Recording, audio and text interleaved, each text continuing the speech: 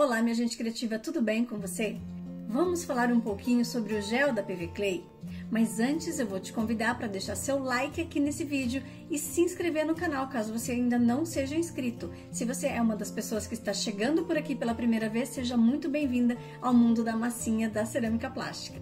E o que é, Pati, o gel? Para que que serve? Quantas perguntas? Quantas vezes eu já respondi essas perguntas? Quantas pessoas me pedem nas redes sociais? Eu preciso comprar? É importante? Estou começando? Como que eu faço? Bom, gente, já falamos sobre os outros potinhos mágicos lá da PV Clay, que é o potinho do mate e do gloss. Esses são vernizes, acabamento brilhante ou fosco que a gente usa depois da peça curada. Já o gel é a própria cerâmica plástica na forma líquida e com uma imensidão de possibilidades de aplicações. Normalmente, cada marca de polymer clay de cerâmica plástica tem o seu próprio gel, né, a sua própria cerâmica plástica líquida. Alguns, inclusive, são coloridos, como no caso de algumas marcas americanas. Porém, o nosso aqui da PV Clay é incolor, ele não tem carga de pigmentos, ele não tem cores, então ele sempre, ao ser curado, ficará muito transparente. Essa é uma das características do gel.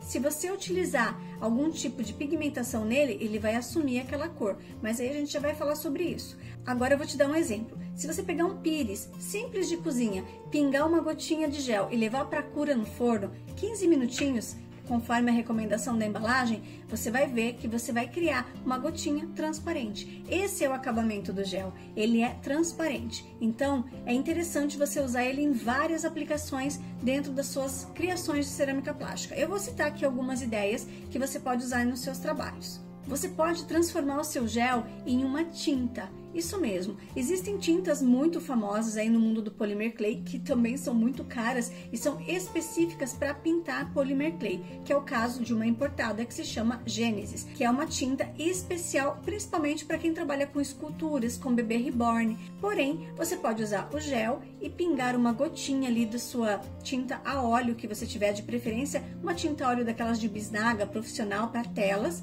e criar as cores que você deseja e fazer depois da sua peça curada uma espécie de pintura com o desenho que você preferir. É importantíssimo lembrar que o gel sempre vai precisar voltar para o forno quando você utilizá-lo. Ele não vai ficar curado se você apenas é, colocar ele, fizer a sua pintura lá com a sua tinta, misturando um pouquinho da tinta com o gel e pintar a sua peça e deixar em cima da sua bancada.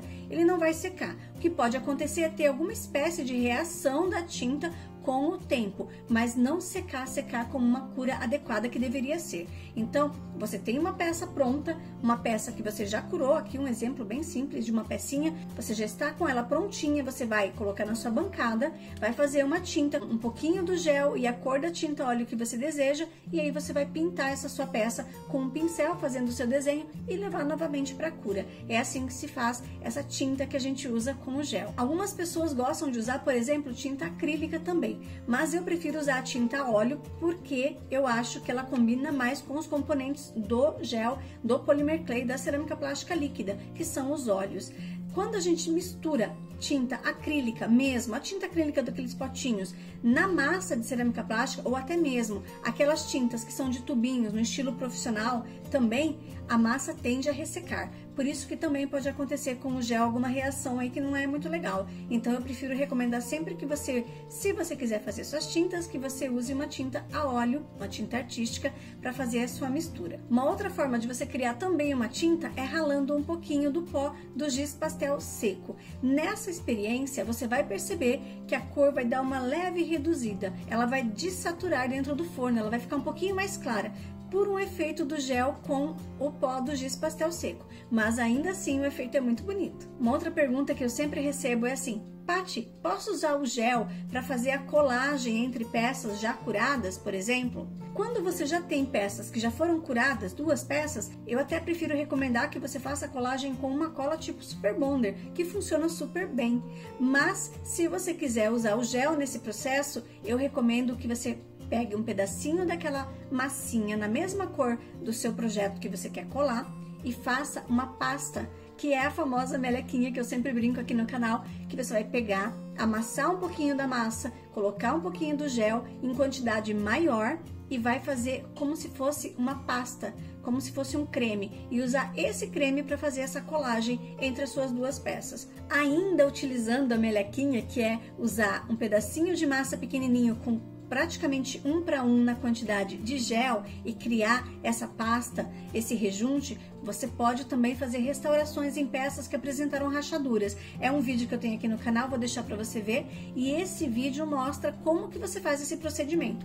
Às vezes, quando a gente está condicionando, está modelando, acaba juntando lá um pouquinho de ar no meio do processo. Esse ar acaba aquecendo durante o processo de cura e quer romper a massa, acaba criando rachaduras. Aí, quando sai do forno, essa rachadura até se apresenta um pouquinho maior, mas conforme a peça vai esfriando, ela vai reduzindo. Mesmo assim, às vezes ela ainda é perceptível a olho nu. Então eu recomendo que você siga essa dica que eu vou deixar aí para você sobre o gel, para você fazer essa melequinha, esse rejunte e recuperar suas peças. Essa também é mais uma forma de usar o gel de cerâmica plástica, que é a cerâmica plástica líquida. Outra forma super legal de você usar o gel é para fazer pigmentação ou fixar os pigmentos em pó. Mesmo que a peça já esteja curada, você pode aplicar uma camada de gel com um pincel e jogar um pouquinho de pigmento em pó e bater esse pigmento com o pincel também. Essa peça volta ao forno e quando você volta, tira ela do forno, você apenas lava superficialmente para retirar o excesso do pigmento que ficou na superfície e o que ficou lá, ficou lá, não vai sair mais,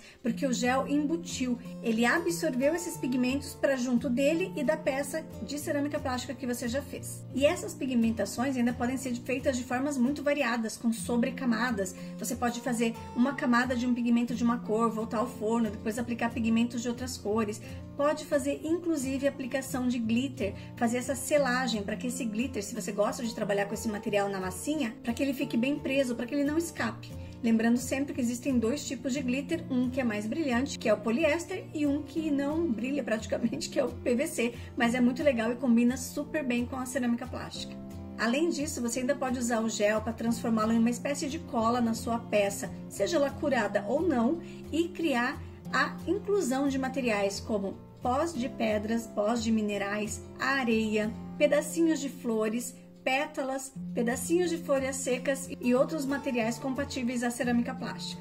Outra forma muito legal de você usar o gel é transformá-lo numa espécie de um verniz de selagem para pinturas superficiais feitas com canetas, como as canetas Posca, por exemplo, que são canetas artísticas, com as quais você pode pintar a superfície das suas peças. Ou caneta marcador de CD, que são aquelas canetas que a gente usa, usava né, antigamente para escrever nos CDs, e você pode fazer desenhos, é, pinturas aí na sua peça, na sua peça de cerâmica plástica, deixar secar e depois fazer uma selagem com gel, passando ele com um pincel e levando para cura novamente. Ele vai encapsular o que estiver ali dentro de desenho da sua peça. Ele vai encapsular esse desenho junto à sua peça. Gente, essas eram as minhas dicas sobre o gel da PV Clay, um material maravilhoso. Sempre me perguntam, Paty, qual que eu compro primeiro? O gel, o gloss, o mate? Eu não posso comprar tudo de uma vez? Quando a pessoa está começando, eu prefiro que ela compre o gel e depois compre o mate, compre o gloss, né? Esses acabamentos brilhantes, porque o gel tem muitas opções de aplicação e ele é muito versátil dentro do processo de modelagem também. Além de também te ajudar no processo de amaciar a sua massinha. Mas hoje a gente tem um amaciante da PV Clay. Eu volto no próximo vídeo e falo mais sobre ele então para vocês. Espero que vocês tenham gostado dessa dica. Um beijo e até o próximo vídeo.